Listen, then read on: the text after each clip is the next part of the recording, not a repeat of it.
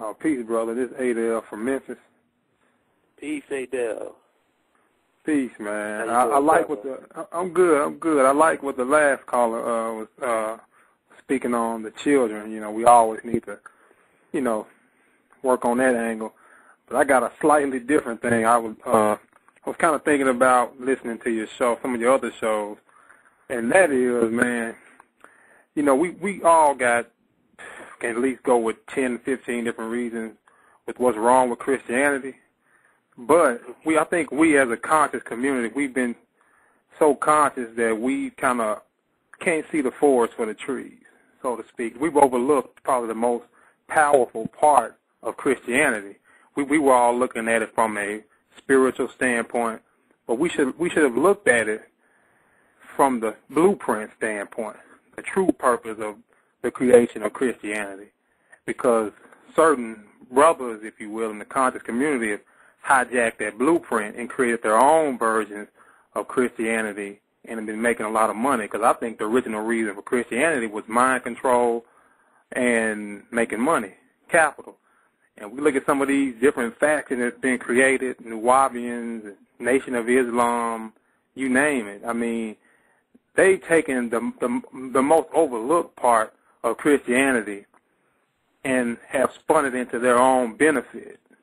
You know, we're talking about millions of dollars being made from a from a from a uh, from an aspect that we, as you know, seekers hadn't even looked at, and they've been able to manipulate the masses, or the I won't say the masses as a whole, but a large number of brothers that could be young, that could be good brothers in the community, but because now that they're in this organization, they can't help another organization or anybody else unless they become affiliated with them. So that's kind of what I'm, I won't say pissed off about, but that's like a major issue, you know, because I'm seeing too many brothers that want to do something positive, but they're not affiliated with this group, so they really can't, you know, fool with you on that level. So, you know. You're talking about basically a lack of consolidation.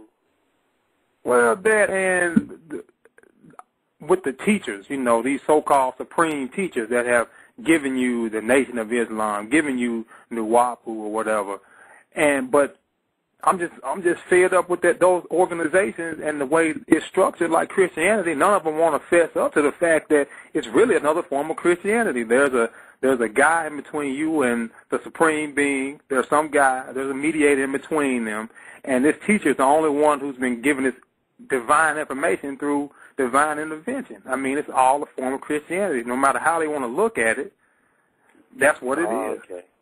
Yeah. I- You know, I- that's I kind of what I'm pissed about. Yeah. You're talking So- about the the toll booth, toll booth personalities. These guys that set themselves up as liaisons between the truth and um, the listener. You know, like where you, in order for you to get true enlightenment, you have to go through them, or you have to buy their product, or something like that. That's what you're talking about.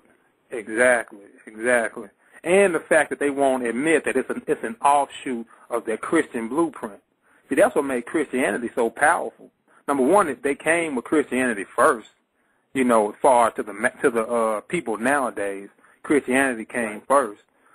But that whole blueprint of let me just give these people some form of hope and this savior that's going to come and get them later on. You know, just some way of for them to cling on to hope but through me only though. You know what I mean? You know, you know. I mean, it, it's crazy. It's almost stupid in a sense. You know, to, you know, to call a spade a spade is stupid. You know, but you can only go through that one person. That's kind of what I'm. You know, and really, I want to see which which faction will be the first one to say, "Hey, we're going to try to work with other groups." So, you know, we open for suggestions. I'm just waiting to see that. Well, You like know. my man um, Shaka, who's in the group African Truth, says, you know, um, heterosexual, non-religious Africans.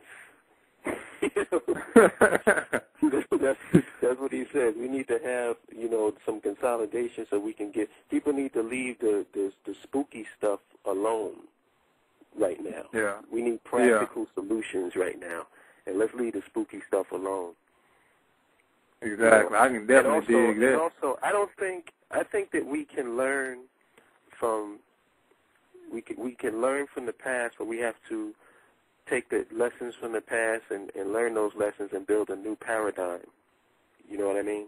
Like yeah, base, do it's sort of like similar to what the Japanese did. They you don't see the Japanese walking around with um samurai swords and, and, and looking like ninjas and stuff. You don't see that anymore. yeah, But they take the principles of what the samurai was about and apply that to the new paradigm. And we need to do that. We need to find out what, what is truly an African epistemology, and then we got to take that and apply it to the day, and you know, Yeah. bring it things up to date, make a, a I guess, a neo-African, so to speak. yeah, definitely. I think uh, probably one of the first steps would be uh, the whole holistic health thing. I mean, we all. I mean, in order to serve anybody, which is which has always puzzled me. How can you set up a congregation, like whether it's Christianity, Islam, or whatever it is you want to do? How can you not teach your people how to eat and live longer? You would think you're making money off of these people, so why not keep them healthy? That's the last thing on the agenda. The whole agenda is pushing these products, you know. But I'm, you know, I'm hoping maybe we can kind of work towards the holistic thing in a sense to, try to get back to an African centeredness as far as the form of eating because I'm seeing too many brothers and sisters coming to me, talking to me, or want to talk to me, because I'm big on the health thing. They want to talk to me about trying to get off blood pressure medicines and things like that, you know. Right. Whenever we, as Africans or melanated beings, we can't take salt. We can't eat. We can't uh, eat salt like that. We can't consume it like uh, white people can. We retain it. Oh, and another thing, if you have the cure for AIDS, right? Oh man, don't even go there. would you- Go ahead though. Why would you be Why would you be selling that to our people? Again, I mean, I mean, go. I'm just, I'm just saying. I'm just. I know, I know. I feel you. I feel you. I feel the you. to AIDS, you're going to go to the people, our people who's dying and afflicted from this, and you're going to give them a, a, a receipt. Again. What? Again. Here we go again with this guy. You can only get it from this person. Right. See what I'm saying? It goes back to that again. But but you're totally right. I mean, why would you sell that? But I, I guess it makes him feel better to go around and brag on that fact. You know, because if you listen to that guy's rhetoric, it's always about him. No matter what the question is, it, it becomes a some way somehow he's going to put himself on a pedestal. Because to me, if I have a cure for AIDS, I wouldn't go around bragging. I'd be curing people who have AIDS, especially in the black community. Exactly. I mean, that's, that's stupid. Exactly. But I think most people, again, this is that Christian blueprint, money making. It, you have to put yourself above everything. It's kind of like that Vince McMahon thing. I don't know if you're in the WWE. I'm not either. Oh, but oh, yeah, one thing I've I'm noticed very is familiar with it. Okay, one thing he he will never allow to happen is you can never get bigger than that company. I don't care if you Brock Lesnar, Hulk Hogan.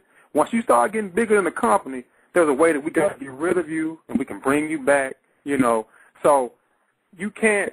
So for Doc, oh, I won't say his name.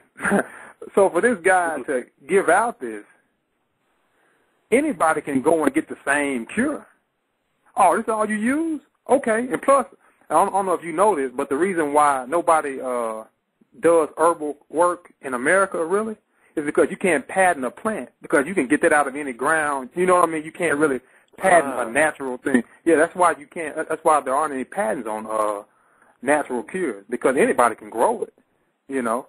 Right. So, but anyway, but let's say you you go to this guy, he gives you uh, the cure, and you see what it is.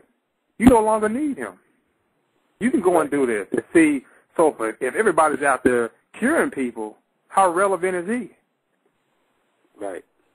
You know, that's the only thing I can think of because these egos have Well, to go. about, though, think about think about the mentality behind that, because what that means is, I would rather have people die than to do without me. Think about that. That's powerful. That is that's, That's- crazy to me. I'd rather have I'd rather have everybody dead than for the, for people to think that they can't do without me. That's a, I don't even know if that's ego. Yeah, there is a lot I of cynicism. know what is that. Psychologically, man, that's also a form of self-hatred. You know, Right. I mean, people people don't understand how much they really love their math